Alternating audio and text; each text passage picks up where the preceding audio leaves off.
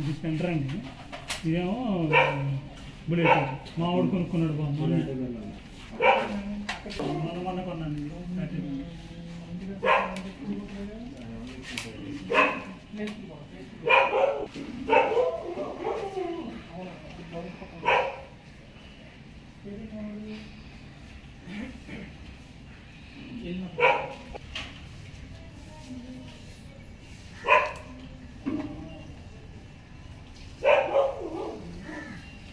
అయితే కష్టమైంది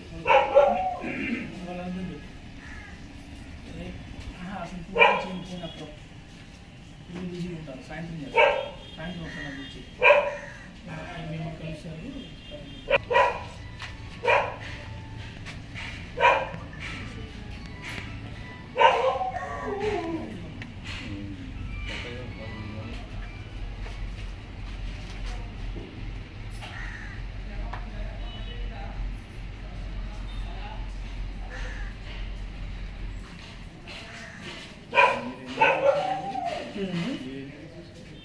నేను ఒకటిన్నరకి ఇది పెద్ద పెద్ద సౌండ్లు వస్తుంటే ఏంటని చెప్పేసి ఈ త- కుక్క ఏమో ఈ గదిలో కట్టేశాము.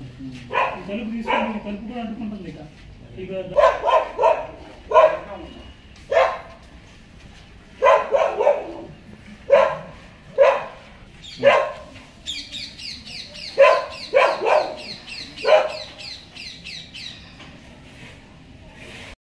నా పేరు శ్యాంప్రసాద్ అండి. ఈడేపల్లి ఇది జోడుగుళ్ళు వెనక రోడ్డు అంటారు దీన్ని. రాత్రి ఒకటిన్నర ఆ టైంలో పెద్ద మంటలు వచ్చేసేసి బాగా ఎక్కువగా బాగా పెద్ద- పెద్ద మంటలు వస్తూ ఉంటే నాకు లోపలికి బాగా వినపడుతున్నాయి. వచ్చి చూసేటప్పటికల్లా పెద్ద పెద్ద మంటలు వస్తున్నాయి. నేను ఆర్పుదామని చెప్పి చాలా ప్రయత్నం చేసి తీసేపటి నాకు మొహం కూడా కొద్దిగా కాలింది కొద్దిగా. ఇతను అనిపించింది మా ఆలుడేనండి? అతనికి ఈ గంజాయి అలవాటు ఉంది. అంతకుముందు నాకు తెలియదండి మాకు. మే పెళ్ళి రెండు సంవత్సరాలు అవుతుంది. రెండు సంవత్సరాలు అవుతుంటే ఇప్పుడు ఎప్పటికప్పుడు టార్చర్లు పెడతాను ఉండటం మా అమ్మాయి సర్దుకుపోయి చెప్తా చెప్పట్లేదు మా సరిగ్గా ఏమి ఏం చెప్పట్లేదు. సరిగ్గా సరిగా చెప్పకపోతే ఏంటమ్మా అంటే ఇట్లా ఉద్యోగం ఏం అసలు ఏం పని చేయను అంటున్నాడు. మామూలుగా దీనికి దీనికి అలవాటు పడిపోయాడు బాగా గంజాయికి వెళ్ళిపోతున్నాడు ఏంటంటే నేను పని చేయమన్నందుకు నన్ను టార్చర్ పెడుతున్నాడు అని చెప్పేసి మా అమ్మాయి చాలాసార్లు నా జాగ్రత్త బాధపడింది. సార్ ఎట్లా కాదమ్మా? నువ్వు హైదరాబాద్ నిన్ను పీజీలో జాయిన్ చేస్తాను. నాలుగు నెలలు ట్రైనింగ్ ఉంటుంది. అక్కడ ట్రైనింగ్ తీసుకో. ట్రైనింగ్ తీసుకున్నాక ఏదో ఒక ఉద్యోగం అక్కడ వస్తుంది నీకు.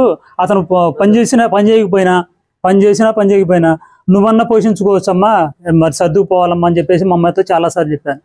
చెప్తే ఇతను మొన్న వచ్చినప్పుడు నేను అన్నాను ఉద్యోగం కనీసం ఏదో ఒక ఉద్యోగం చేసుకోవయ్యా నువ్వు. నువ్వు ఏం ఏం చేయకపోతే అసలు ఎట్లాగా అని అని చెప్పేసి కొద్దిగా గట్టిగా చెప్పామండి చెప్పేటప్పటికల్లా ఇతను అది మనసులో పెట్టుకొని రాత్రి వచ్చేసి పెట్రోల్ పోసి బైకులు మూడు మూడు బైకులు తగలబెట్టేశాడు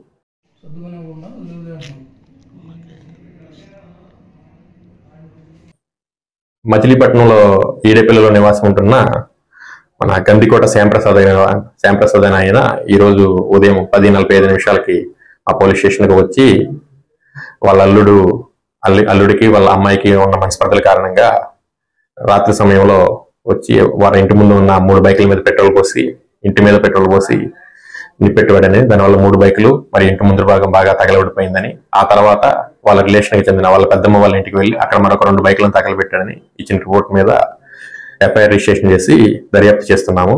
ఈ కేసులో ముద్దాయి పేరు దాసరి శబరినాథ్. అతను పెడన్లో ఉంటాడు. అతను చెడు వ్యసనాలకు అలవాటు పడినట్టుగా తెలుస్తుంది. అలా అమ్మాయితో మనస్పర్ధలు ఉన్నాయి. ఆ మనస్పర్ధల రీత్యా ఈ విధంగా నేరం చేసినట్లుగా అనిపిస్తుంది.